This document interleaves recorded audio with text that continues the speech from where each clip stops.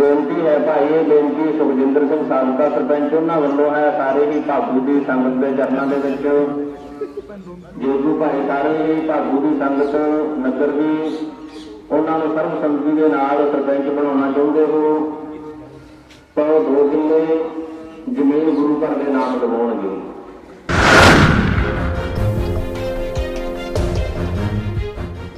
ਦੁਆਰਾ ਫਿਰ ਉਹਨਾਂ ਵੱਲੋਂ ਬੇਨਤੀ ਹੈ ਸੁਖਜਿੰਦਰ ਸਿੰਘ ਸਾਬਕਾ ਸਰਪੰਚ ਸਾਹਿਬ, ਉਹਨਾਂ ਵੱਲੋਂ ਆਪਣੇ ਸਾਰੇ ਹੀ ਭਾਗੂ ਦੇ ਸੰਗਤ ਦੇ ਚਰਨਾਂ ਦੇ ਵਿੱਚ, ਜੇ ਆਪਣੇ ਸਾਰੇ ਹੀ ਭਾਗੂ ਦੀ ਸੰਗਤ ਉਹਨਾਂ ਨੂੰ ਭਾਈ ਸਰਬਸੰਮਤੀ ਦੇ ਨਾਲ ਸਰਪੰਚ ਬਣਾਉਣਾ ਚਾਹੁੰਦੇ ਹਨ, ਆਪਣੇ ਨਗਰ ਦਾ ਸਰਪੰਚ ਚੁਣਨਾ ਚਾਹੁੰਦੇ ਹਨ, ਤੇ ਭਾਈ ਉਹਨਾਂ ਵੱਲੋਂ ਦੋ ਕਿੱਲੇ ਜ਼ਮੀਨ ਗੁਰੂ ਘਰ ਦੇ ਭਾਈ ਨਾਮ ਲਵਾਈ ਜਾਊਗੀ।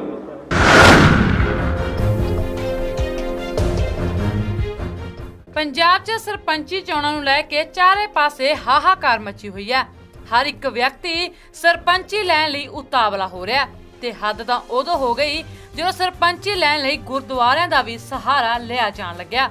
ਜਿਹੜੇ ਗੁਰਦੁਆਰਿਆਂ ਦੇ ਸਪੀਕਰਾਂ 'ਚ ਗੁਰਬਾਣੀ ਸੁਣਾਈ ਦਿੰਦੀ ਸੀ, ਹੁਣ ਉਹਨਾਂ ਸਪੀਕਰਾਂ 'ਚ ਸਿਆਸੀ ਗੁਣਗਾਨ ਗੂੰਜਦਾ ਸੁਣਾਈ ਦੇ ਰਿਹਾ ਮਾਮਲਾ ਜ਼ਿਲ੍ਹਾ ਸ਼੍ਰੀ ਮੁਕਤਸਰ ਸਾਹਿਬ ਦੇ ਪਿੰਡ ਭਾਗੋ ਦਾ ਹੈ, ਜਿੱਥੇ ਸਰਪੰਚੀ ਬਦਲੇ ਜ਼ਮੀਨ ਦੇਣ ਦਾ ਢੰਡੋਰਾ ਗੁਰੂ ਘਰ ਦੇ ਸਪੀਕਰ ਵਿੱਚ ਪਿੱਟਿਆ ਜਾ ਰਿਹਾ ਹੈ। ਆਓ ਜਰਾ ਤੁਸੀਂ ਵੀ ਸੁਣੋ। ਜੀ ਕੀ ਫਤਿਹ। ਫਤਿਹ ਤੋਂ ਉਪਰੰਤ ਬੇਨਤੀ ਹੈ ਭਾਈ, ਇਹ ਬੇਨਤੀ ਸੁਖਜਿੰਦਰ ਸਿੰਘ ਸਾਬਕਾ ਸਰਪੰਚ, ਉਹਨਾਂ ਵੱਲੋਂ ਹੈ ਸਾਰੇ ਹੀ ਭਾਗੂ ਦੀ ਸੰਗਤ ਦੇ ਚਰਨਾਂ ਦੇ ਵਿੱਚ। ਜੇਜੂ ਭਾਈ ਸਾਰੇ ਹੀ ਭਾਗੂ ਦੀ ਸੰਗਤ, ਨਗਰ ਦੀ, ਉਹਨਾਂ ਨੂੰ ਸਰਬ ਸਰਬਸੰਮਤੀ ਦੇ ਨਾਲ ਸਰਪੰਚ ਬਣਾਉਣਾ ਚਾਹੁੰਦੇ ਹੋ। ਤਾਂ ਉਹ ਦੋ ਕਿੱਲੇ ਜ਼ਮੀਨ ਗੁਰੂ ਘਰ ਦੇ ਨਾਮ ਲਵਾਉਣਗੇ। ਦੁਆਰਾ ਫਿਰ ਉਹਨਾਂ ਵੱਲੋਂ ਬੇਨਤੀ ਹੈ ਸੁਖਜਿੰਦਰ ਸਿੰਘ ਸਾਬਕਾ ਸਰਪੰਚ ਸਾਹਿਬ, ਉਹਨਾਂ ਵੱਲੋਂ ਆਪਣੇ ਸਾਰੇ ਹੀ ਭਾਗੂ ਦੇ ਸੰਗਤ ਦੇ ਚਰਨਾਂ ਦੇ ਵਿੱਚ ਜੇ ਆਪਣੇ ਸਾਰੇ ਹੀ ਭਾਗੂ ਦੀ ਸੰਗਤ ਉਹਨਾਂ ਨੂੰ ਭਾਈ ਸਰਬਸੰਮਤੀ ਦੇ ਨਾਲ ਸਰਪੰਚ ਬਣਾਉਣਾ ਚਾਹੁੰਦੇ ਹਨ, ਆਪਣੇ ਨਗਰ ਦਾ ਸਰਪੰਚ ਚੁਣਨਾ ਚਾਹੁੰਦੇ ਹਨ, ਤੇ ਭਾਈ ਉਹਨਾਂ ਵੱਲੋਂ ਦੋ ਕਿੱਲੇ ਜ਼ਮੀਨ ਗੁਰੂ ਘਰ ਦੇ ਭਾਈ ਨਾਮ ਲਵਾਈ ਜਾਊਗੀ। ਇਹ ਬੇਨਤੀ ਸਾਰੀ ਹੀ ਸੰਗਤ ਨੇ ਭਾਈ ਪ੍ਰਵਾਨ ਕਰਨੀ, ਧਿਆਨ ਦੇ ਨਾਲ ਸੁਣੀ। ਵਾਹਿਗੁਰੂ ਜੀ ਕਾ ਖਾਲਸਾ, ਵਾਹਿਗੁਰੂ ਜੀ ਕੀ ਫਤਿਹ। ਇਹ ਅਨਾਉਂਸਮੈਂਟ ਸਾਬਕਾ ਸਰਪੰਚ ਸੁਖਜਿੰਦਰ ਸਿੰਘ ਵੱਲੋਂ ਕਰਵਾਈ ਗਈ ਹੈ ਜਿਸ ਨੇ ਕਿ 2 ਕਿੱਲੇ ਜ਼ਮੀਨ ਗੁਰੂ ਘਰ ਦੇ ਨਾਮ ਲਗਵਾਉਣ ਦਾ ਹੋਕਾ ਦਵਾਇਆ। ਪਰ ਸਭ ਤੋਂ ਵੱਡੀ ਗੱਲ ਇਹ ਹੈ ਕਿ ਚੋਣ ਜਾਬਤਾ ਲੱਗਿਆ ਹੋਇਆ।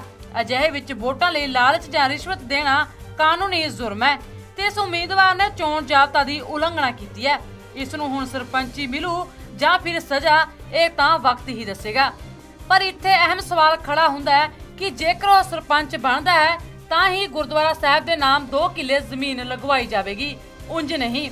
ਜਿੱਤੋਂ ਸਾਫ਼ ਜ਼ਾਹਿਰ ਹੁੰਦਾ ਹੈ ਕਿ ਉਹ ਧਾਰਮਿਕ ਸਥਾਨ ਦਾ ਆਸਰਾ ਲੈ ਕੇ ਲੋਕਾਂ ਨੂੰ ਗੁੰਮਰਾਹ ਕਰ ਰਿਹਾ ਹੈ, ਜੋ ਕਿ ਨਿੰਦਣਯੋਗ ਹੈ। ਕਿਉਂਕਿ ਧਰਮ ਦੇ ਨਾਂ ਤੇ ਕਦੇ ਵੀ ਸਿਆਸਤ ਨਹੀਂ ਹੋਣੀ ਚਾਹੀਦੀ। ਸ਼੍ਰੀ ਮੁਕਤਸਰ ਸਾਹਿਬ ਤੋਂ ਇੰਦਰਜੀਤ ਸਿੰਘ ਦੀ ਰਿਪੋਰਟ, ਚੈਨਲ ਪੰਜਾਬ।